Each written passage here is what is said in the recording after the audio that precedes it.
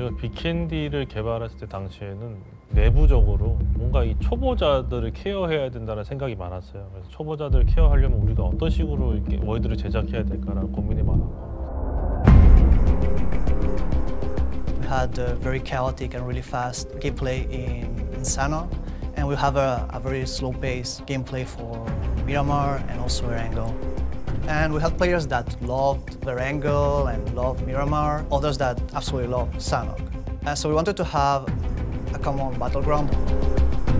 유저분들의 피드백이 곧 저희의 채찍질이죠. 뭐. 이래라 뭐. 이래라 펍지 항상 이러시잖아요.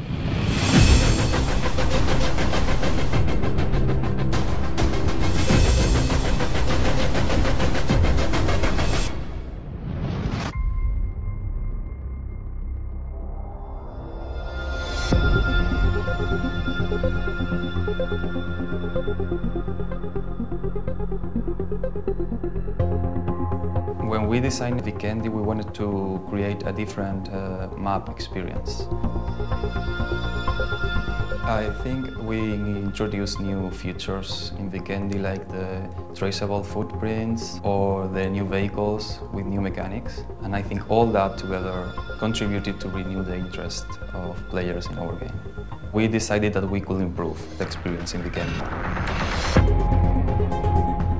일단 눈이 거의 빅캔디의 3분의 2가 눈으로 원래 덮여 있었는데 이게 특징이기도 하고 그래서 빅캔디만의 아름다움이 눈으로 표현된다고 생각을 했어요. 근데 아무래도 그렇다고 해도 게임 플레이에 지장이 되면은 아무리 예뻐도 힘드니까 눈이 필요하면은 게임에 집중할 수가 없잖아요.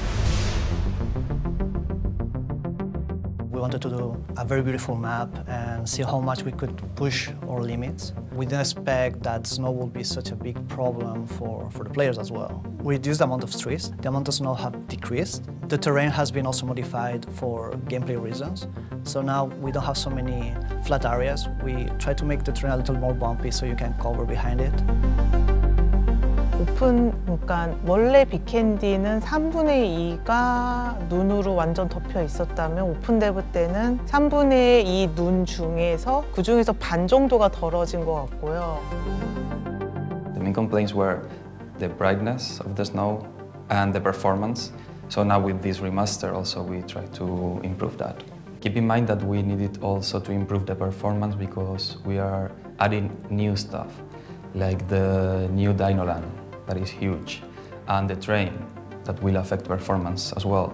So we needed to balance all that. We reworked almost every building I will say, and every location. We reduce the tree count, the materials, uh, textures, everything. We are trying to keep the same looking and the same quality. Everything is more pleasant to the eye.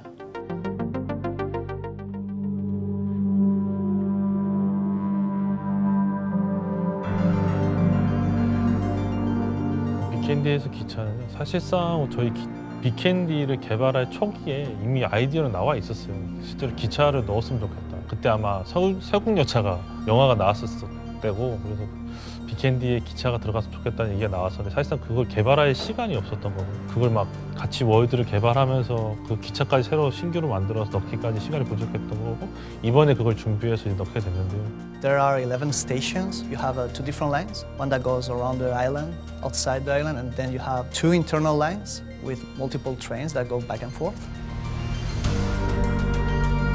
I'm really looking forward to see how players use it. The good thing is that you know where the train goes and where the lines are, so you can plan your next move, hoping that the train will add new unexpected and funny moments. But you have complete freedom, you don't need to drive, so you are free to fight.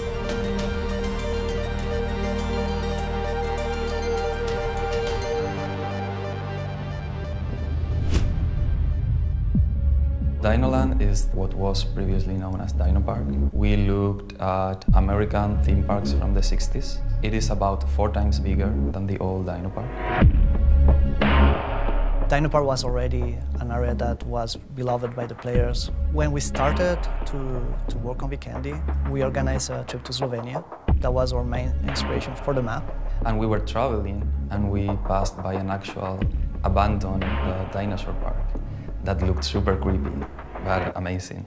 We added a lot of verticality, so you can actually climb to even to the top of the volcano. Dinoland kept this chaotic feeling with these maintenance areas, for example, that you can access uh, from the back part of the stores or restaurants. And you can run into an unexpected fight with a team that was on the other side of the park by accessing to these areas. So that will keep that chaotic feeling.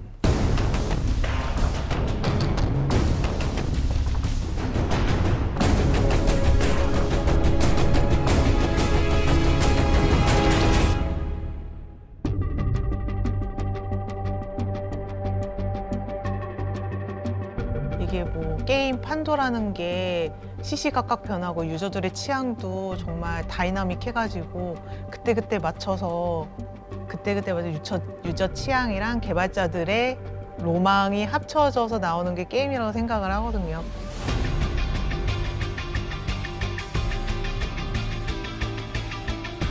Fan feedback is one of the PUBG core values. And if you look at the Vikendi remaster, you will see that all the changes were made to improve the fan experience. And all the changes were made based on their thoughts. And you can clearly see that. Because we truly believe that the best way to offer the best game for our players is listening to them.